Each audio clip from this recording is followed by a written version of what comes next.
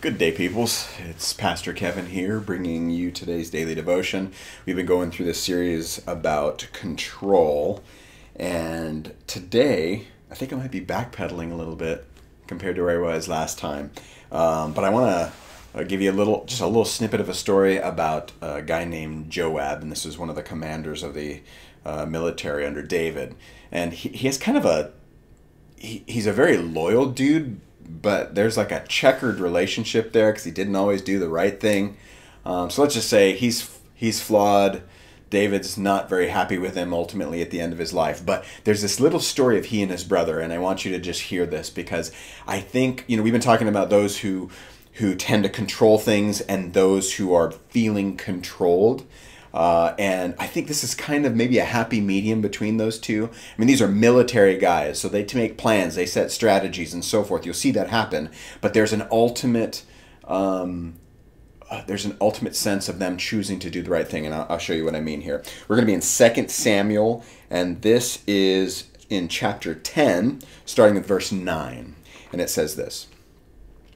Uh, when Joab, okay, wait, let me step back for a second. You need to know this. Uh, so this is in a moment where uh, David has he's unified the kingdoms and he's doing really you know the people love him and so forth. And he goes to try to make amends. One of the key key relationships he had with the leader of syria uh, he, the, he's died and his son has taken over. And he goes to send envoys to them basically to, to like basically uh, say that we're sorry for your loss and want to make sure you keep that relationship. Well, they don't respond well, and they ended up disgracing the envoys that were sent. So David is upset, rightfully so, and Syria, knowing that that's happening, the leader of Syria goes and makes a deal with the Ammonites and they come against Israel. And this is in that situation. So, two nations coming against Israel. And the head of the military in Israel is uh, Joab, and his brother uh, um, Abishai is one of the others. So, this is where the story comes from. So, back to our story. Sorry about that. So, this is uh, 2 Samuel 10, starting with verse 9, and it says this. When Joab, Joab saw that the battle was set against him, both in front and in the rear, this is where we have Syrians on one side, Ammonites on the other. He chose some of the best men of Israel and arrayed them against the Syrians. The rest of his men he put in the, in the charge of Abishai his brother, and he arrayed them against the Ammonites. And he said, If the Syrians are too strong for me, then you shall help me. But if the Ammonites are too strong for you, then I will come and help you. Be of good courage, and let us be courageous for our people and for the cities of our God. And may the Lord do what seems good to him. So Joab and the people who were with him drew near to battle against the Syrians, and they fled before him. And when the Ammonites saw that the Syrians fled, they likewise fled before Abishai and entered the city. Then Joab returned from fighting against the Ammonites and came to Jerusalem. So you see the situation. You can clearly see a strategy by Joab, right? Okay, we're gonna we're gonna push on these two fronts. And if I'm having trouble, I'm going to need you to help me. And if you're having trouble, I'm going to need to help you. So it's not a perfect strategy by any military sense. That's not the point. The point is, is that Joab is saying, okay, here's the plan. But did you see what he ultimately says? He says, okay, if this happens, then so be it. And if that happens, so be it.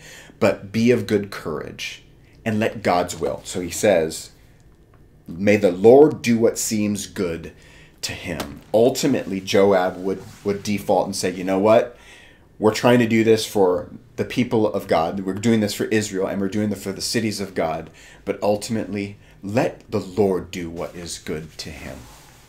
That's this this idea, and, and I wish we I wish I would do this more, and I, I'm hoping that you guys catch what I'm trying to say here. The ability to say I'm going to make my plans, hopefully for the correct purposes, for the right reasons, and I'm going to give the ultimate over to God. That whatever God seems to do, want, if whatever He sees is the right thing, I'm going to ultimately submit to that. And that's what I'm reading. So, and, and, again, I don't know what Joab really meant when he's doing all these things, but his words seem pretty clear that ultimately he's saying, let the Lord do, let, let the Lord's will be done. It's almost like another that we've heard, right? And this is like you could take that right to, to Jesus in, in Gethsemane and saying, you know, this cup that you've put before me, it's, it's a lot it's asking a lot. And really, if there's another way, please choose that way. But Not my will, but your will be done.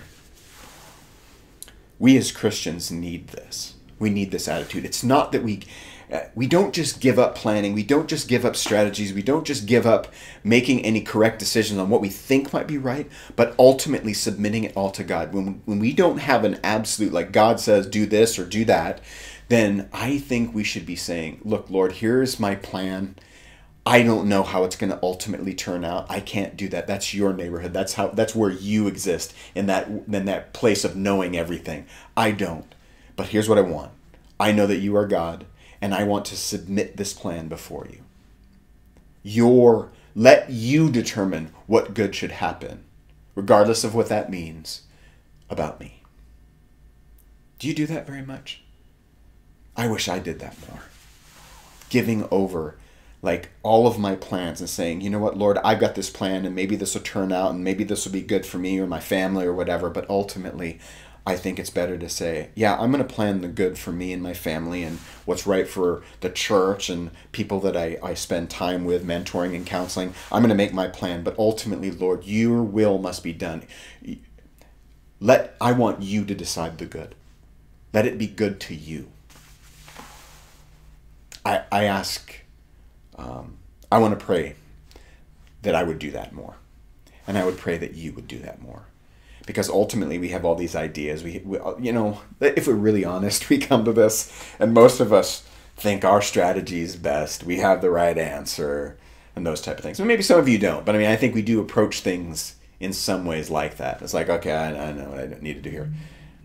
But what if we actually took a moment?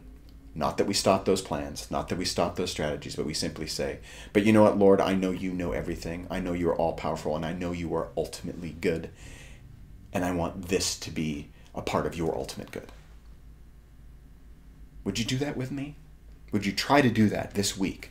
Make an attempt in your prayers, in your decisions, in your workplace, in your family, that you would ultimately say, I'm going to plan things out with the hopes that I am making the right kingdom decisions, decisions that align with my king who gave himself for me.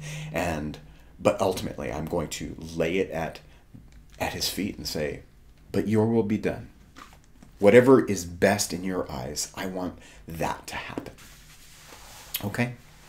Let's pray. Father God, I thank you so much. I thank you. I, I want to ask you for the ability, the, the, the ability to see and know that you are good such that we could trust you in the middle of this. You are all, we should be trusting you with everything. But I think all of us have this little part of our, ourselves that wants to, to plan and control things. And uh, I just want to say I, I want you to be in control. I know you are, but my point is I want to submit control to you. I will make my plans to a point, but I will then submit them to you. Help me to do that through your spirit. Help the people listening do that. Um, we want to see your will be done. And and the, the truth is, Father, is that maybe some of those things that you would choose to do we wouldn't agree with or we wouldn't want to happen, whatever but we know that you're good and that's that's what we want to submit to help us to do that this day and every day because you are good and you have given yourself for us we love you we thank you in jesus name amen okay see you next time